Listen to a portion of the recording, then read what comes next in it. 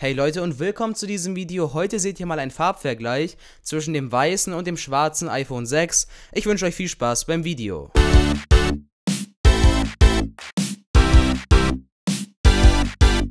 Los geht es natürlich mit der Vorderseite und was beim weißen iPhone 6 natürlich sofort auffällt, man sieht das Display und ich weiß nicht, mir gefällt es nicht wirklich gut. Beim schwarzen iPhone 6 sieht man ja das Display nicht sofort, wenn man genau hinschaut, dann sieht man das Display auch. Das ist ja dann gar nicht das Thema, aber ich finde, hier fällt es schon zu sehr auf. Man sieht eben wirklich immer das Display und ich weiß nicht, ich würde damit wirklich nicht glücklich werden.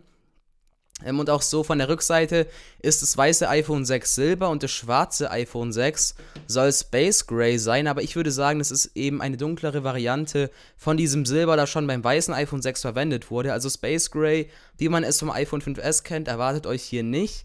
Ja, trotzdem, es gefällt mir sehr gut. Es wirkt edler als das weiße iPhone, muss ich ehrlich gesagt sagen. Das Ganze wirkt einfach nicht mehr so wertig, wie man es schon vom iPhone 5S kannte. Beim iPhone 5S, muss ich sagen, hat mir die weiße Variante im Nachhinein besser gefallen. Aber hier hat sich das Ganze wirklich geändert. Das weiße Modell ist nicht wirklich mein Fall. Man sieht eben das Display. Und beim schwarzen Modell ist es eben nicht sofort der Fall. Ähm, was man auch noch anmerken sollte, wenn man einen Film schaut mit dem schwarzen iPhone, dann stören die Ränder hier nicht so. Wenn man jetzt beim weißen iPhone einen Film schaut, könnte ich mir schon vorstellen, dass es mit der Zeit stört, dass wenn man hier immer so weiße Balken hat und hier den Film sieht, deswegen, wer Filme schaut, würde ich sagen, das schwarze iPhone eignet sich dazu besser. Wer aber gerne im Internet surft, der wird, glaube ich, mit dem weißen iPhone 6 mehr Freude haben. Da fallen die Balken einfach nicht mehr so auf wie beim schwarzen. Was die Verarbeitungsqualität angeht, habe ich keinen Unterschied feststellen können. Beide Geräte sind wirklich einfach nur genial verarbeitet. Was ich halt sagen möchte, das weiße iPhone sieht irgendwie auch cool aus, aber ich finde, es wirkt lange nicht so edel wie das schwarze iPhone. Wem es gefällt, der kann auch gerne zum weißen greifen, ist auch ein tolles Gerät, gar keine Frage. Und auch so muss ich sagen, das iPhone 6 ist wirklich ein Top-Gerät. Ich habe keinen negativen Kritikpunkt, wenn ich ehrlich bin. Das Display ist sehr schön groß, äh, die Kamera ist gut, iOS 8 ist auch ein cooles Betriebssystem, finde ich.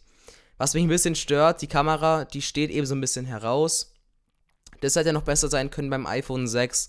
Und die Antennenbalken, die hätten vielleicht aus Glas bestehen können, weil dieses Plastik passt einfach nicht zum gesamten Gerät, finde ich. Abschließend kann ich nur sagen, wer sich nicht in das weiße Modell verliebt hat, der wird damit, denke ich, nicht glücklich werden. Wer ein edles Modell sucht, der wird mit dem schwarzen Modell eher glücklicher werden als mit dem weißen.